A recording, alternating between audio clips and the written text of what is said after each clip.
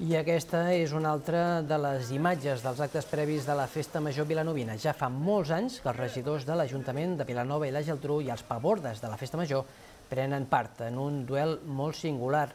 Ho fan en aigües de la platja de Vilanova i navegant amb un llagut. A la sorra, regidors i pavordes reben les instruccions bàsiques i un cop eh, dins l'aigua comença el desafiament.